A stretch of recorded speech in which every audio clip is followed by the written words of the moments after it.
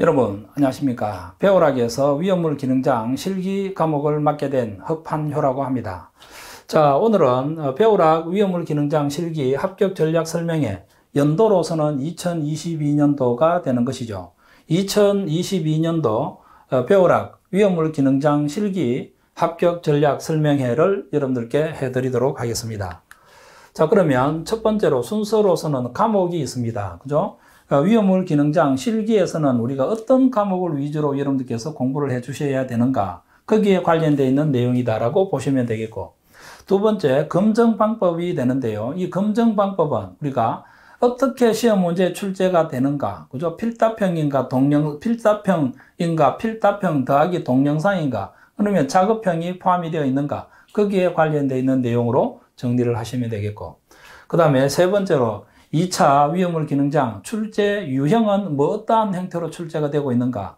이것도 우리가 검증 방법과 거의 유사한 내용이다라고 여러분들께서 정리해 놓으시면 되겠죠.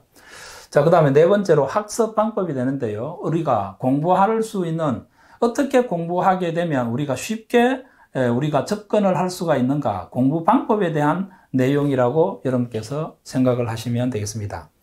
그 다음 다섯 번째로 특유하게 다른 사이트에 비해서 이 배우락에서 갖고 있는 장점, 그죠? 그와 같은 것들을 우리가 어, 여러분들께 합격 전략이다. 그죠? 배우락 합격 전략이다.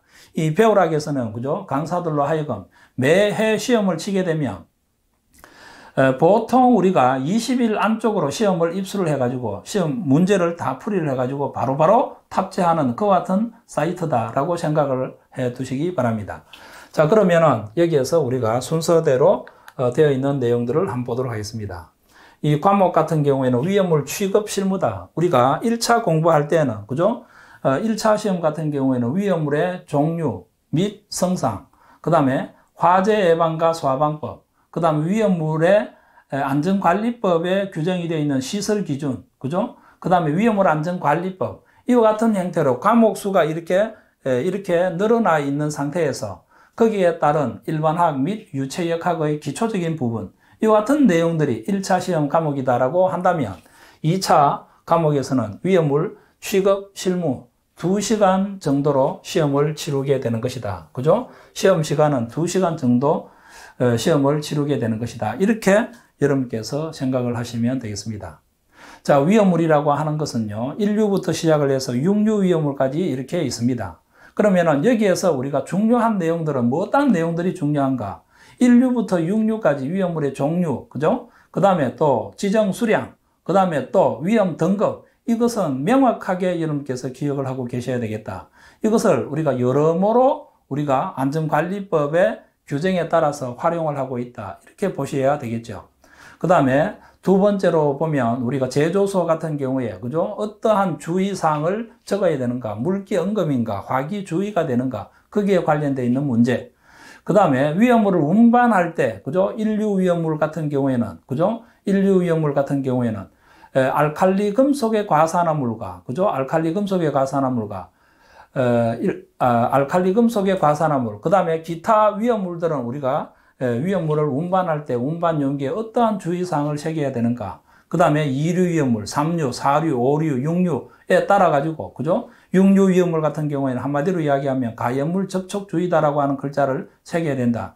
이것도 여러분들께서 암기법으로 기억을 하셔야만 정확한, 정확하고 명확한 내용으로 여러분께서 답안을 작성을 하실 수 있지 않겠나. 이렇게 생각이 되어집니다. 아주 중요한 내용들이 되는 것이죠. 위험물의 종류 및 성상에 관련되어 있는 내용도 아주 중요한 내용이 되는 것이죠.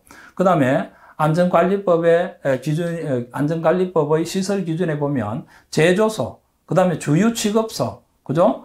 그 다음에 판매 취급소, 이와 같은 내용들에서도 일반 취급소, 이와 같은 내용들에서도 중요하게 취급을 하고 있는 그와 같은 내용들이 되겠다.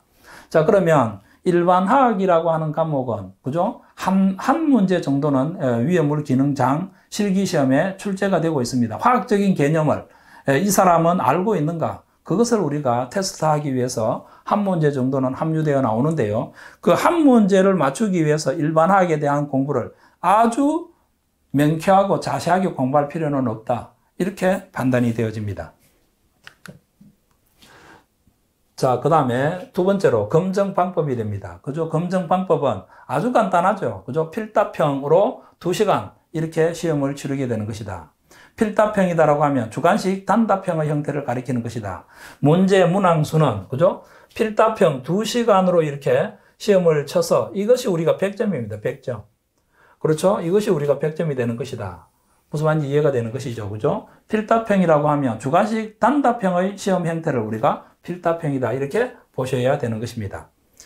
어, 그러면은 다른 위험물 어, 산업기사라든지 위험물 어, 기능사에 비해서, 그죠? 예, 적어야 되는 문항수가 많이 나오겠죠. 대충 우리가 한 다섯 가지 예, 이하다. 이렇게 생각을 하셔야 되는 것입니다. 무슨 말인지 이해가 되겠습니까? 그렇죠? 여기에서 우리가 다섯 가지를 다 여러분께서 외우려고 하면, 그죠? 예, 상당한 시간을 필요로 하는데, 그와 같은 것들도 실기 문제에서 여러분들께 어떻게 하면 제가 공부할 때 어떻게 공부를 했는가, 어떻게 암기를 했는가, 그와 같은 어, 내용들을 여러분들께 소개를 시켜 드리면서, 그죠? 제가 외웠던 그와 같은 방법으로 암기를 하시든지, 아니면 어, 여러분들이 더 좋은 방법이 있는지, 그와 같은 어, 것으로 비교를 한번 해보시기 바랍니다. 그러면 여러분들께서 생각을 하실 때 이미 1차 공부할 때 제 강의를 들으셨다라고 하면 1차 강의할 때 어느 정도 체계가 잡아 있으리라고 생각이 되어집니다. 무슨 말인지 이해가 되겠습니까? 그렇죠? 거기에 따라서 2차 문제도 여러분께서 소화를 시켜주시면 되지 않겠나. 이렇게 생각이 되어집니다. 자, 그 다음에 출제 유형 같은 경우에는 주관식 단답형으로 이렇게 출제가 되고 있다. 무슨 말인지 이해가 되겠습니까? 그죠? 필답형 같은 경우는 주관식 단답형으로 이렇게 출제가 되고 있다. 그러니까 필답형 한 가지만 보면 된다 이 말입니다. 무슨 말인지 이해가 되겠습니까? 그렇죠? 문제 문항수는 19문제. 그죠? 과거에는 우리가 20문제. 19문제에서 20문제 정도 출제가 된다. 이렇게 보셔야 되는 것이죠. 자, 학습 방법은 산업인력관리공단 출제 기준에 따른 문제를 분석하여 제가 강의를 해 놓았기 때문에 여러분들께서는 제 강의만 듣더라도 우리가 출제 경향은 어, 떻게 되는가를 대충 우리가 알 수가 있다. 이렇게 볼 수가 있겠죠. 무슨 말인지 이해가 되겠습니까? 그렇죠? 그 다음에 두 번째로 필답형 단원별 예상 문제 정리 및 풀이. 자, 필답형 어, 단원별 예상 문제 정리 및 풀이 이렇게 되어 있는데 여러분들 교재에 문제가 몇 문제에 수록되어 있지 않기 때문에 그 문제를 전부 제, 제가 풀이를 다 해놓은 것입니다. 무슨 말인지 이해가 되겠습니까? 그렇죠? 어, 그 중에서 특히 중요한 것들만 발췌해서 풀이를 한 내용도 있다. 이렇게 생각을 해 두시기 바랍니다. 자, 그 다음에 여기에서 작업형 단원별 예상 문제 정리 및 풀이 해놨다. 이렇게 나와 있는 내용은, 그죠? 에, 우리가 다른 과목, 그죠? 다른 과목에서 우리가 필요로 하는 그와 같은 내용들이 되는데, 여기에서는 여러분들께, 여러분들께서는 우리가 해당 사항이 없다. 이렇게 보셔야 되는 것이죠. 어, 그 다음에 기출 문제를 우리가 분석을 에, 제가 해서, 그죠? 차기 시험에, 차기 시험이라고 하면 2022년도에 어떻게 우리가 시험 문제에 출제가 어, 되는가, 출제될 수 있는 그와 같은 내용들을 기준으로 해서 별표 처리를 해 놓은 것이다. 자, 2차 실기 문제 같은 경우에는 적은 문제라도 정확한 개념으로 여러분께서 기억을 해 두셔야 되겠다. 여기서 정확한 개념이다라고 하는 것은 우리가 암기를 해 주셔야 되는데 이 암기할 수 있는 방법도 어, 여러분들께 배우락의 학습 전략에서 설명을 해 놓았습니다. 한번 볼까요? 그죠? 자, 암기법 위주로 강의를 했다. 1류부터 6류까지 암기법 위주로 강의를 했다. 자, 예를 들어 가지고 제 4류 위험을 한번 볼까요? 그죠? 제 4류 위험을 특이랄 2, 3, 4동 이렇게 암기를 합니다. 특이랄 2, 3, 4동. 특이라고 하면 특수연화물, 그죠? 제1석유류, 알코올류, 2, 3, 4석유류, 동식물류. 이와 같은 형태로 정리를 하시기 바라고 지정 수량 같은 경우에도 5, 1석유류, 2석유류, 3석유류는 전부 비수로 이렇게 나눠볼 수가 있겠죠.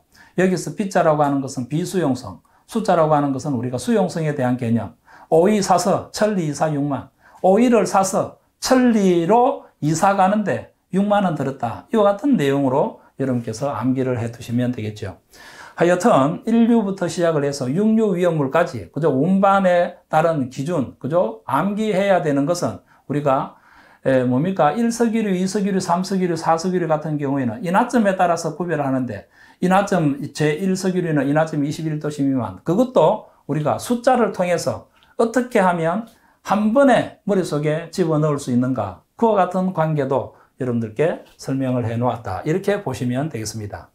그 다음에 도표하고 그림을 통해서 여러분들께서 쉽게 연상하기 쉬운 형태로 강의를 해 놓았다. 상세한 기출문제를, 기출문제를 아주 상세하게 해설을 해 놓았다. 알고 있는 문제는 1차에 공부하는 것처럼 알고 있는 문제는 삭제해 나가면서 여러분께서 공부를 하시면 되겠습니다.